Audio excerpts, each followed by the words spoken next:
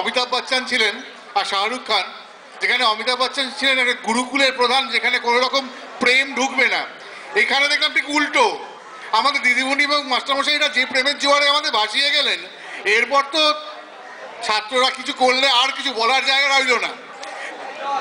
আচ্ছা এরপরে আমাদের আমাদের দ্বিতীয় পর্বের অনুষ্ঠানে আমরা